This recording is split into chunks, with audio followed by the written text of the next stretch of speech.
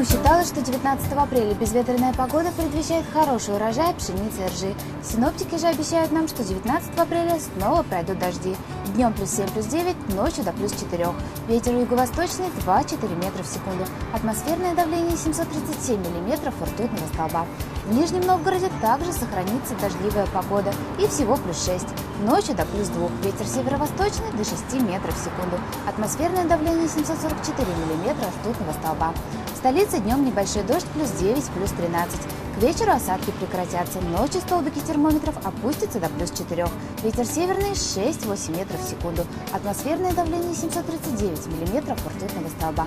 И помните, какой бы ни была погода, она всегда по-своему прекрасна.